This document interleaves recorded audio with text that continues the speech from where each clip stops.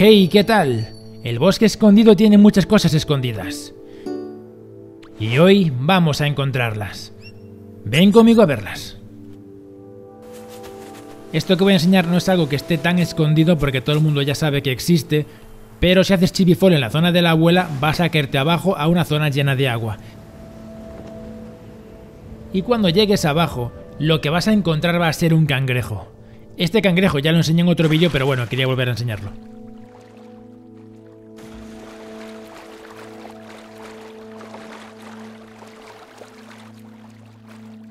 En esta misma zona del cangrejo, si miramos hacia arriba, vamos a encontrar una estructura flotando en mitad de la nada.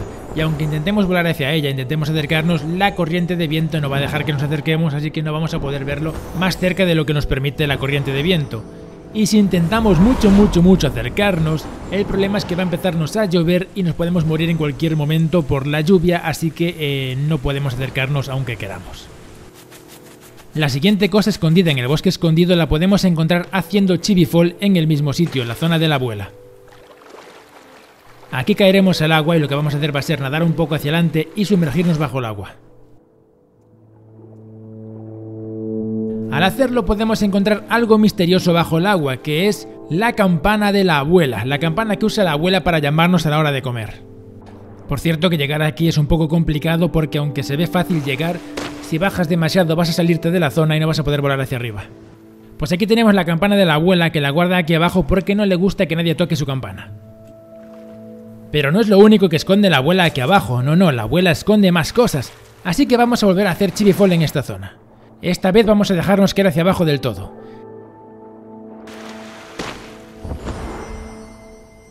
Y aquí está, hemos encontrado el pan escondido de la abuela. Voy a poner aquí algo para poder ponerme encima y poder verlo mejor. Vale, estoy un poco lejos de más. Voy a ver si me acerco un poquito. Ya está. Pues este es el pan escondido de la abuela que lo esconde aquí para que nadie coma su pan. Y es un pan especial porque es muy diferente a los panes que nos comemos nosotros. Ella tiene el pan bueno, ¿eh? Y la textura, como podemos ver, es súper diferente, súper raro, no sé. Pero bueno, aquí tenemos el pan de la abuela. Si venís a verlo, no os lo comáis, ¿eh? Y ahora vamos a ver las cosas curiosas de verdad. Vamos a meternos por aquí y vamos a ir en dirección hacia aquella entrada de allá. Ahora que hemos llegado, vamos a hacer Chivifall justo en esta zona de aquí.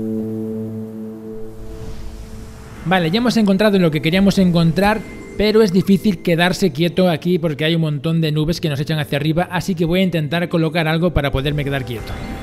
Es muy complicado, al menos para mí, poder intentar quedarme parado en el sitio porque las nubes es que son terribles y es que están todo el rato echándome fuera. voy a intentarlo de alguna manera para quedarme quieto aquí. Es complicado, ¿eh? porque tienes que intentar que, que las nubes no te tiren demasiado hacia arriba, sino que te lleven muy despacito. Vale, ya está, ya estamos encima. Perfecto.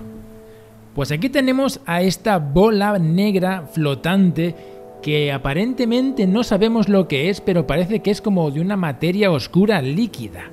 Pues esto es el núcleo de una piedra oscura refinada. Como podemos ver en cualquier piedra oscura que nos encontramos, el núcleo de la piedra oscura refinada es una esfera brillante. Supongo que es así porque la piedra oscura refinada se hacía utilizando la luz de las criaturas.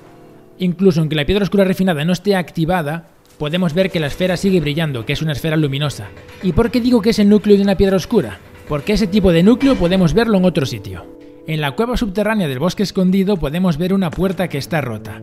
Y si nos metemos por aquí dentro podemos ver claramente que tenemos aquí una piedra oscura refinada que no funciona, o sea que no tiene la bolita brillante. Y así es como se ve una piedra oscura refinada cuando deja de funcionar, que tenemos aquí una bola de oscuridad pura que no absorbe luz y es como oscuridad pura líquida.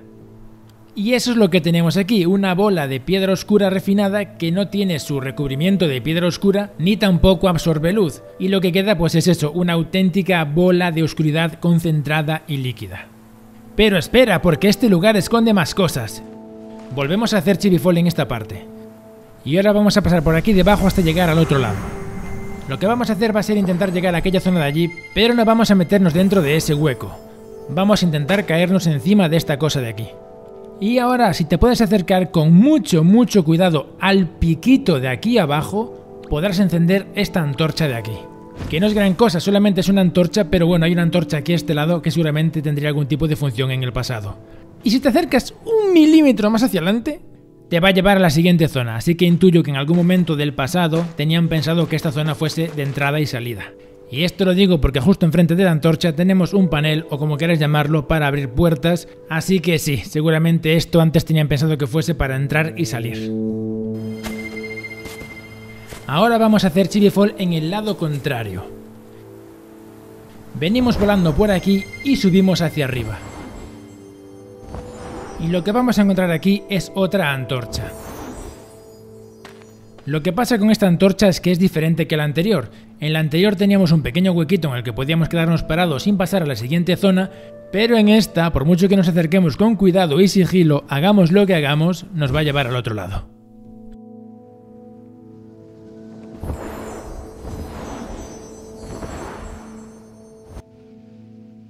Pero espera, aún hay más. Hacemos chivifol en el mismo sitio de antes. Volvemos a pasar por aquí debajo, pero esta vez sí que nos vamos a meter en este hueco de aquí.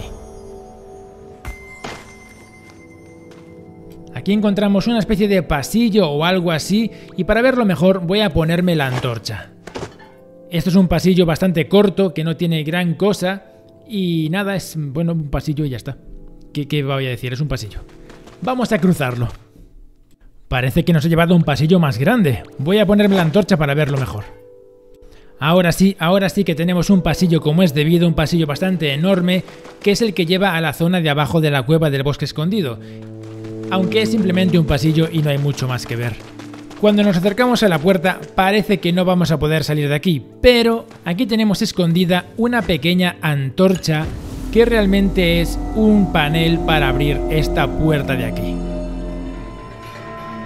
Así que lo que dije antes, esto seguramente era con la intención de que pudiésemos entrar y salir tranquilamente por esta zona. Y ya está. Y ahora ya podemos entrar o salir hacia la zona de la abuela. ¿Estamos saliendo para adentro o entrando para afuera? Volvemos a la zona del otro lado, a la zona de la cueva, y vamos a hacer Chibifall en esta altura de aquí. Ahora vamos a volar por debajo y vamos a subirnos ahí arriba. Y aquí podemos encontrar dónde está el panel para poder abrir la puerta de aquí. Clara evidencia, como dije mil veces, de que esto era para poder entrar y salir con tranquilidad.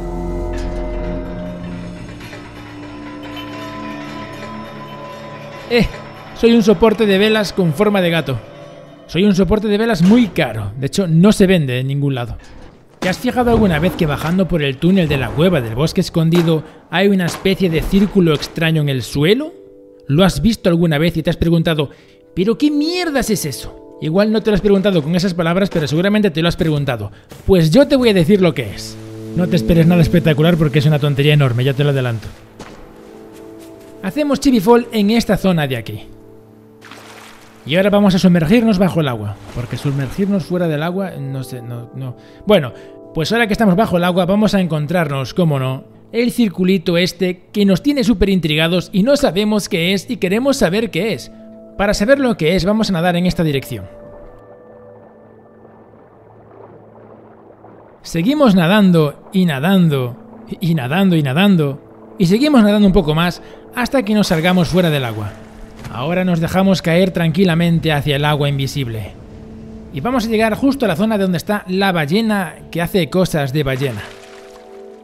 Pues vamos a ir nadando en esa dirección.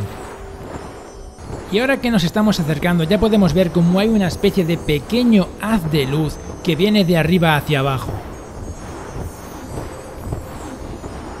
No se ve mucho, pero ahí está. No sé si se puede ver muy bien, pero se puede diferenciar un poquito tenue en esa parte de ahí.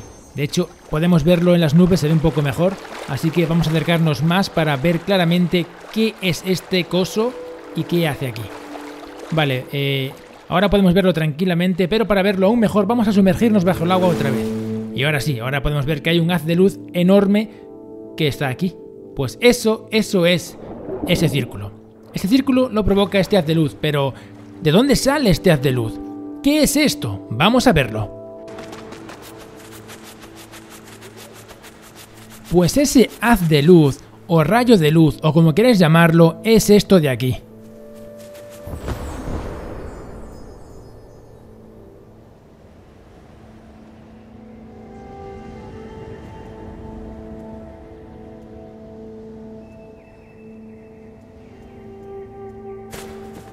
¿Y para qué es eso? ¿Para qué existe este haz de luz? Pues sirve única y exclusivamente para iluminar este círculo de meditación. ¿Y qué es este círculo de meditación? Pues es una de las misiones de la temporada del vuelo.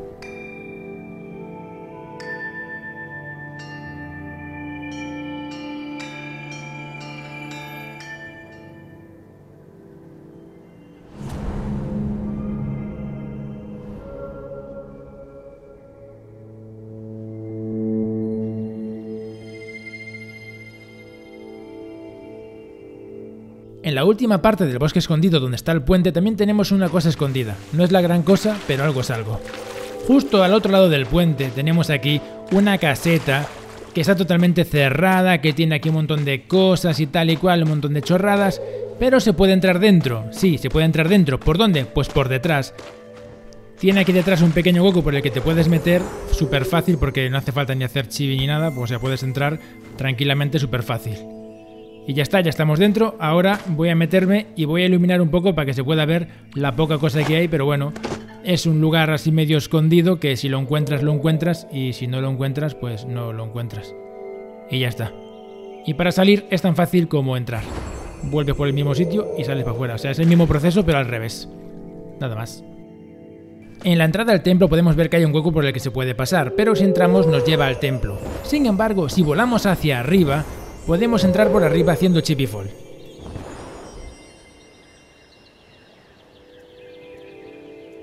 Vamos a hacer chipifall en esta zona de aquí. Listo, ya estamos dentro. Ahora voy a ponerme la lámpara para iluminar esto un poco. Y este sitio es bastante curioso porque tiene unos patrones muy chulos por el suelo y también por las paredes. Mira, mira este patrón aquí en la pared, que parece así como una especie de telaraña o, algo así. No sé, me parece bastante chulo. Y la verdad es que está, eh, aunque no tiene realmente nada, no sé, las marcas en el suelo y así tal, me gustan mucho cómo se ven. No sé, le da un toque... Parece todo como de madera o algo así, ¿no? Pues me gusta, me gusta mucho. Vamos a ir ahora al, techo a ver cómo se ve también. Si es que me llegan las alas porque, porque bueno. Pues mira, todo de madera, parece todo de madera. Pero no es madera. ¿O sí lo es? ¿Quién sabe? Bueno, pues ahora vamos a ir hacia afuera. Mira, es que está genial todo esto. Está genial. Pues si vamos hacia afuera, realmente no vamos hacia afuera. Vamos hacia dentro del templo. Ahora que estamos en el templo, vamos a sentarnos para ver la cinemática de la Elder de Bosque. Vamos a hacer esto porque si no lo que queremos ver no va a aparecer.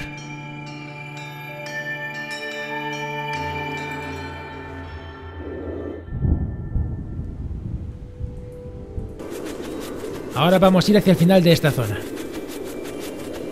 Justo en esta parte vamos a hacer chivifol. Nadamos hacia adelante y nos dejamos caer hacia abajo. Y lo que tenemos que hacer ahora es volar todo el rato hacia adelante.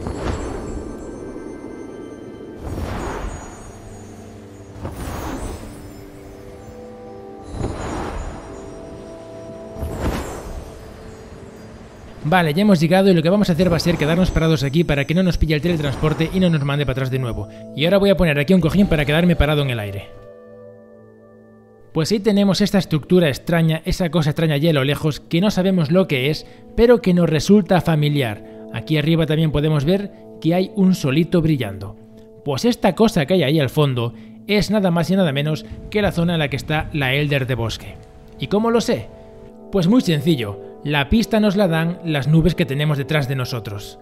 Pues si vas a ver a la Elder de Bosque cuando caen los fragmentos se va a volver todo rojo y vas a poder ver estas mismas nubes a lo lejos. Que como puedes ver son exactamente las mismas nubes. Así que eso que está a lo lejos es la zona en la que está la Elder de Bosque. Y ya está.